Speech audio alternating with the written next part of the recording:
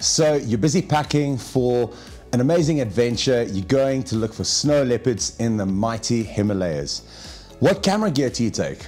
This is an important decision and one I hope to help you with in this part two of my getting ready for the Himalayas. Part one covered all of the clothes that I tend to take, the gear that I pack, and part two will focus on the camera gear that I typically take with to the Himalayas. So without further ado, let's get right into it. All right, let's talk about the camera bodies. What do I take? How many do I take? Why do I take it? Now, I'm fortunate to be a Sony Alpha ambassador, so uh, I have access to some great gear, but for the last two or three years, I've been using pretty much exclusively the Sony Alpha 1. Now, I take with two Alpha 1 bodies. Uh, I won't mind a third just in case, but you have to remember if you don't take a second body, most people I know now do. But if something were to happen to one camera, you could drop it, fall into the water, it could malfunction, anything could happen. It is a Sony, so it's unlikely, but it does happen, right? Um, you have to be prepared for that. And the second, quality camera works well. I see some people travel with a second body, but it's a, a, a camera of less quality or value to the first one. And if something were to happen and you find yourself in a remote area like the Himalayas, then you may have problems because you're not going to have the same performance. So I try to keep it the same. This is the A1 and it's a great camera because it has resolution. So in the Himalayas, you're going to be photographing at distances very often. Um, having an ability to crop is very important. So from a photographic point of view, the fact that you can have 50 or 60 megapixels makes a big difference as opposed to 20. You want to have that resolution and you want to be able to get closer to your subject. That's the first important thing about this camera that I love. The second is shutter speed. Now, a lot of this, the scenes you'll be photographing will probably be a little bit static. Um, if you're lucky to see a snow leopard, often they're perched up, up on a rock or um, slowly on the move, but you might get a chance for action. Now, you're going there with the hopes of seeing something like a hunt. And when it happens, you want to be ready. Fortunately, the cameras of today have fast shutter speeds, and so does the A1. So you're looking for shutter speed. Another thing in this camera that I love is the dynamic range, the ability to shoot very bright highs, very bright light, and very low light. Um, dark shadows, bright highlights all together. It's got incredible dynamic range and the photographs edit very well. That's something I love about the A1 is it's beautiful to edit on. I don't know if you ever have, but so much of it is done in camera and it leaves you with so little work. And when you do edit, it's great because of that dynamic range. Another thing about the, the performance that I love about this camera is the autofocus. It is incredible. It has animal eye autofocus, but it's very, uh, uh, very, um, Another thing that I love about this camera is the autofocus performance. To me, it's second to none, especially tracking fast moving subjects. It has animal eye autofocus so it can lock onto your subject. If ever I get a sequence where something is hunting, like a snow leopard running down the hill, I'm pretty sure I'm going to be able to get the action. It's not going to lose focus. I love the reliability of this camera in terms of autofocus. Another important thing that I look for.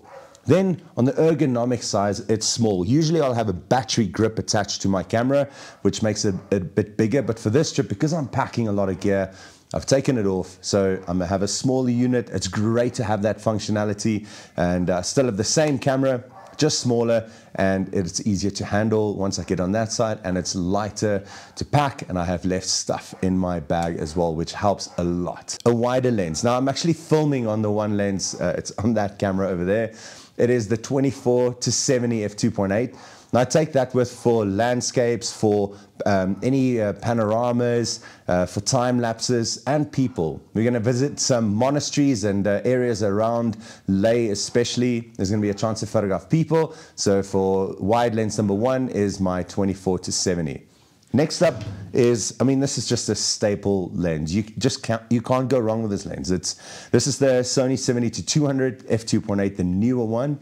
They've stripped almost a half a kilo off the old version, and that makes this lens for me just a, a really, really good companion for travel. It's light in weight, and it will certainly help you wherever you go. You're going to get great stuff with this. This is an important lens for you to have um, from a landscape point of view, environments, animals, people. It's just a workhorse of a lens, and one that is just about always in my bag. So important lens, 70 to 200, it goes with me.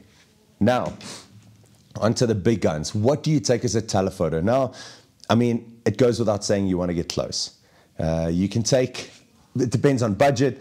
Um, if you don't own one, I suggest buying one, but know, I can't suggest anything else than either 600 mil or if your brand of choice makes an 800 millimeter lens uh, or, bigger, then go for big is better almost in the Himalayas. So I take Sony's 600 f4 GM lens with, and you'll see that I've actually taken the hood off. That's over here. This I'll pack in my bag, leave more space in my camera bag. This will go in my luggage bag. Um, and uh, yeah, just to make it easier to travel with. But you definitely need a lens with a ton of reach. It's very important. Uh, the snow leopards sometimes are, most of the time, are quite far away. And so top quality glass, um, this compared to a zoom telephoto lens, it's a big difference. You, you just can't compare them. The, the quality that you get out of this lens is, uh, is amazing. It's sharp. Um, it helps you with clarity. Uh, it helps you with uh, uh, so many aspects. So for me, the 600 mm in the Sony range is great. Um, like I said, if your brand offers something bigger, then by all means go for that. But you want to get close. Um, and especially a lens like this coupled on a camera body like the Sony A1 is a great combination. And these lenses are also sure to not fail you. They are reliable and they just do fantastic work in the field. Coupled with this will be my two teleconverters, okay? So I take a, a 1.4 and a 2 times teleconverter with me, which turns my 600mm lens into an 840mm lens or a 1200mm lens. And once I have 1200 millimeters on my A1 at 50 megapixels, you can see why that really helps. You have a lot of ability to crop. And on that note about reach, you know, 1200 mils, when I shoot video on the Sony A1, I shoot at 8K because the camera is steady. We're going to talk about that now. And I'm able to then pull great video out shooting at 8K. It's very cold, so your camera doesn't tend to overheat, and you get great results that way. Trust me, um, it definitely for me is the way to go. All right, now spoken about camera bodies, spoken about the lenses that I that I love taking and why. Something that I cannot stress enough, and I paid almost paid a bit of a price, kind of did last year, is a good tripod. I took a tripod with, it's a very good tripod, but it just wasn't good enough. Simple as that, wasn't good enough. And this time I went around and I am taking a beast of a tripod with me. This is by Leofoto, and the model is the LM364CL, and just a great tripod um, to have. It's stable. You want to look for tripods that have if you're looking for stability, longer legs with fewer segments. All right, the more segments you have, the more stability you end up losing. So thick legs, long segments, not great for travel because it's difficult to pack. I pack it in my luggage bags. I don't have it with me. It's just too big. But you want something sturdy and steady like this. I just love how the Leo system photo works. It's very easy to pull out, to adjust, to push back in again. everything is big on here. So when you're working with gloves, it works really great and easy, and you're able to adjust your tripod as you need. My, um, my L bracket, my, my uh, uh, head up at the top here is also by Leofoto. Um, it's a great design. It's these, this kind of hollow cutout design. And what's great about this, uh, this plate and this uh, head is it's light and it really is strong big uh, knobs to work with gloves as well, so you can loosen and, and uh, tighten and for me it just works really well. I love how they have their their tightening and loosening uh, catch on here. It's really quick. You can see there, put it back on again and you tighten with one hand and you're on. So just such a clever design in terms of tripod use, works extremely well. And what I also do is I have from Leofoto a base plate fixed to my actual lens. So this simply slides on and off. Um, I've removed my original tripod collar and just put this base plate on here. So it still works very well and I can just slide it in and out quite easily. And that's the setup. So stability, you absolutely cannot afford to have an unstable camera setup, especially there. There are other ways um, to make your camera more stable and get your tripod, you know, hang, hang a bean back down. But a lot of these things just take up more space. It makes it more difficult to carry, in my opinion. So I go with this. I have an incredible tripod. It's very stable. Um, and if there's anything else I need to do, I'll try to do it in the field there. You know, things like wind is a challenge, and it does pick up every now and again in the region we'll be in, in the Himalayas. So, uh, with a long lens, it tends to move and, and vibrate and shake a little bit. So, hopefully, we'll get rid of some of that once I'm up there. Um, it's also important to consider, I don't know how effective this is or how true it is, but I recently heard of a photographer that said that heat um, tends to accumulate within this uh, uh, lens hood which causes uh, less sharp images in as shooting at long range, which is interesting. So I'm going to play around with that. I might take it off, shoot without this on. Interesting. So when you're shooting in cold and your lens is a bit warmer and it causes some heat in the front, you could have less sharp images. So let's see. I'll do a bit of a review on that as well and let you know how that goes. Hello, Jack. You want to come sit down? Relay. Hello, Relay. It's not real tattoos, I promise. Those are going to wash off before they go to school. when you go into the Himalayas, you're going to be looking for a lot of stuff all the time. So you can either rely on the team who's going to be spotting for you. Um, I and many of my guests take a, a system with us. This is from Swarovski. I'll share the details of this scope below, but it works very, very well. The unit is almost like binoculars. So I can look at Relay walking away there. um, but it's comfortable. When you go a mono eyepiece versus this is more comfortable for me because I can rest both my eyes there. It's got a, a headrest as well. where I can rest my forehead and it's just more comfortable for me doing it this way. Um, so that's why I do, and I do take it with. It's a schlep. It's a lot of gear to take with, I promise you.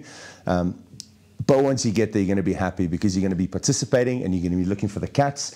This is from Swarovski as well. This is their tripod setup, um, also with a good steady head that I can uh, mount my, my uh, scope to, and it works very well. Again, nice big uh, knobs so I can work with gloves, and I'm going to be contributing and hopefully finding some cats for my guests.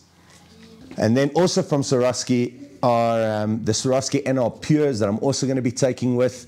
And it's just for watching things close by and scanning when I'm tired of the scope. These are the 10 by 42s, so 10 by gives me enough reach um, without causing any shake. And they work extremely well. And to be honest, I pack them wherever I go. There's no place I really don't go with them uh, or leave them at home for. I take them everywhere I go. So they don't leave my side and they are always with me. Um, I carry things in my this little uh, f-stop uh, bag here, which I'll talk about in a second where all this goes. But in here I have uh, batteries and little uh, tools and a, and a, blower and a cleaner and a few things like that. It's nice to keep them together because it just makes your life easier. And then I also take a microphone with for some recording. I take these mics with for recording as well, and then a cleaning kit. And that is pretty much my setup. Now, where does it all go? Where do I put it in? Where do you put it in? And this is the question I get so often. I have another video where I talk about my preferred camera bag, and it's the exact same bag I take with on this trip. Um, you know, do you have a strap bag? Do you have a wheelie bag? That's up to you. Um, I'm still carry a bag over my shoulders, and it takes everything I need. And that is the bag Relay's about to give me, um, which is my f-stop Tilopa bag. Relay? Wait, Jack, I'll take this one now. And this bag, honestly, is everything for me. It's waterproof, it's windproof, works in the snow, rain, dirt, all sorts of conditions. And I take this with wherever I go. And it works the same for my Himalaya trip. There's a lot that goes in this bag, as I'll show you towards the end of the video, just how I pack and how I fit it all into the bag. Now, it doesn't actually go into this bag. This bag is empty. Where it goes is the inner compartment unit, or ICU, and this is this one here. Thank you, Jack. Um, it all goes in here. All of my gear, apart from the scope itself, will fit into this bag, which goes into my outer shell. And I love that about f-stop because if you have a smaller one for camping or backpacking, you can put a smaller camera bag and leave space for clothes. And it's just pretty cool how they've done that. So for me, all my gear will go in here and it's protected, it's well looked after, and I can take it through rugged destinations and make the bag work. Let me show you how I get all of this stuff packed into a bag.